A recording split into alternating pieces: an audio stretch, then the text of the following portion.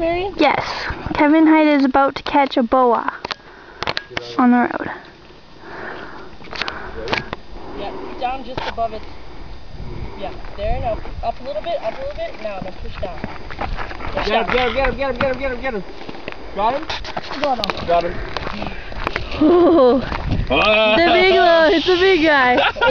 Don't let his head go. Don't let his fucking head go. Mad.